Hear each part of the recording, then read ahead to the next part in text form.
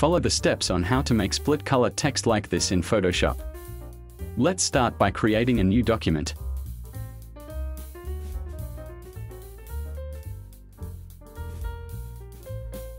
Click this icon and add a gradient.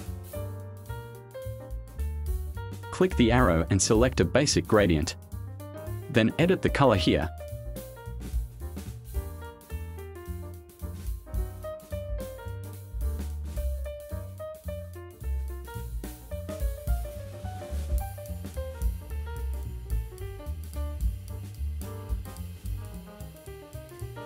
Click each color handle and set the location at 50%.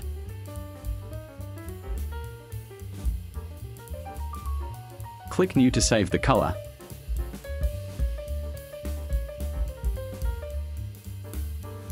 Press T to insert text.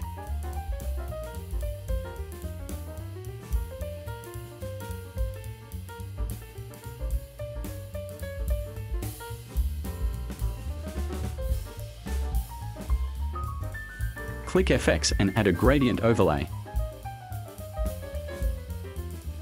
Change it to the color that was saved previously.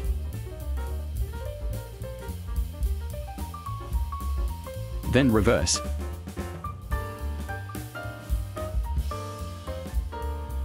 Click here and make sure it is aligned to canvas. Then position the text to the center. Finished and good luck. Thank you for watching until the end. If there is something you don't understand, write a comment below. Click like for support and activate the notification bell to get the next video update.